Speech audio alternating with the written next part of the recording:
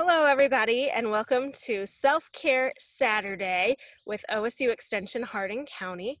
I'm Amanda, and today I will be talking with you about connecting with nature as a self care strategy. So, we know that being in nature and being outdoors has lots of benefits for our health. Uh, there are lots of studies that show that connecting with nature can improve your mood, help if you are experiencing um, times of stress, which I'm sure a lot of us are um, in our current situation, a little bit stressed because our routines are not exactly how they usually are. And there are studies that show that green exercise is actually better for your body, and that means exercise that is done outside. So, today, what I would like to talk to you about a few minutes is a couple different ways that you can connect with nature at home things that I have started doing is moving my workspace since I'm working from home out to my porch when it is nice outside. And I found that my productivity is much higher when I'm outside. I can feel the sunshine, I can feel the breeze, um, and my kids can be outside playing as well. Um, that really does help. Another thing that you can do if you don't have access to green space outside is you can look at photos of natural things and, and of nature.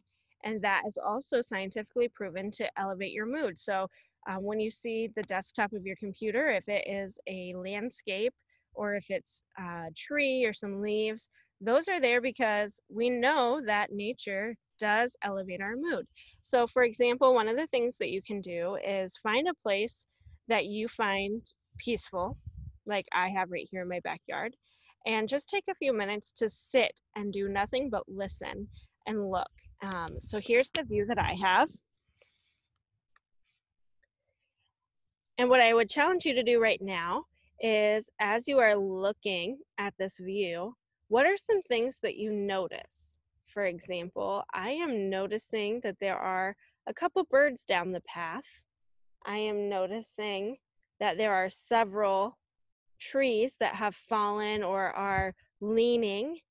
Um, and I have been doing this for a couple weeks now, and I'm, I'm really starting to notice the trees, uh, the leaves are coming out, and there's a lot more green than there was when we started quarantine.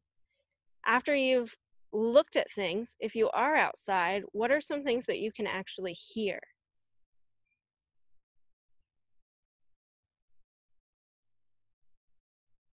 I can hear my next door neighbor's mower in the distance. I can hear some birds. Um, I can hear the sound of the wind in the leaves. So there's a lot of different sounds and sights, and just taking a few minutes to meditate on what you are experiencing and to be mindful of your surroundings can be really, really good for your stress levels. Uh, another activity that is really fun that you can do is gathering natural elements to make mandalas or designs. And I actually did this with my kids. Uh, here are some of the pictures that you can see. And it's kind of like a little scavenger hunt where you're trying to find things that you can use um, to make your designs. And then you can quiet, turn on some quiet music or just enjoy the sounds of nature while you make your designs. And um, that's just one other way that you can connect with nature. Um, choosing to do your exercise outside, whether that is cardio or lifting or dancing, whatever you do to stay active, doing it outside can be really helpful as well. As the weather continues to improve here in Ohio, I hope that you will um, find some ways to take care of yourself and get outside, uh, get that sunshine and soak it up, uh, and and try to reduce your stress through being out in nature.